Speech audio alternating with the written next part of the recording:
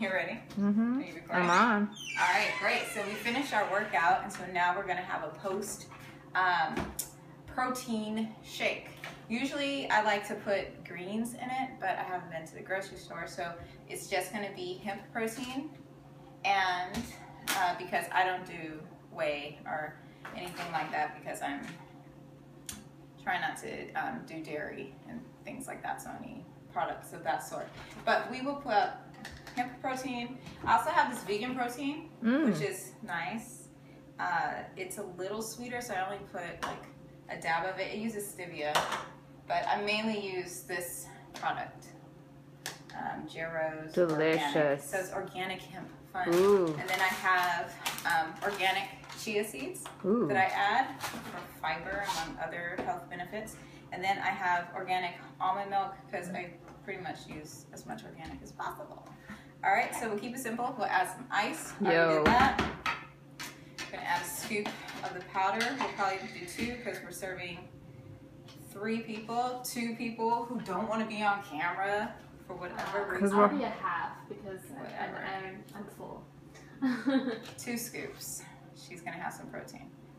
So it's good to have protein after you work out within two hours to help your body rebuild because you're breaking down the muscle fibers when you're exercising. So you need to get some branch aminos back into your system or some type of protein, okay? Can you have sugar? Is it not good? I mean, any processed sugar is not good for you. Um, if you're going to have something sweet, I would stick to fruit so that it's natural sugars. Hmm. But you, yeah, I mean, everyone knows we need to be easy on sugars, but I like sugar. Yeah, who doesn't? so then I put in like maybe two tablespoons of chia seed, Cool. and then finishing off the almond milk. So why is dairy not good? Well, um, we're the only humans are like the only mammal who continues to drink milk after infancy. Hmm. And so it's in another animal's milk after infancy. So it, it wreaks havoc on your digestive system. That's why a lot of people are lactose intolerant. And it also introduces other hormones into your body, which knocks your body off balance. It's just, you want to avoid it as much as possible. So I drink almond milk. You also want to be easy on soy. We'll get into all that. I'm just making a shake right All right. now. All right. so, so I do almond milk and I do organic coconut water. Ooh. Yes, because it's very hydrating. Mmm. Delicious. Yep, it's more hydrating than Gatorade. No offense, Gatorade. You taste good when we're out on a sports field, but coconut water is very good for you.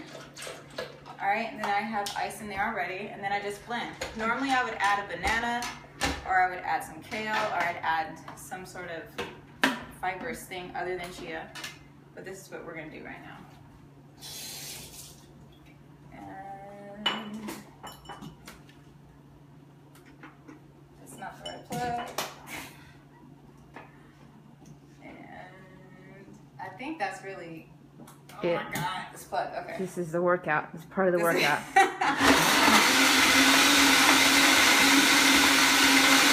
Notice that.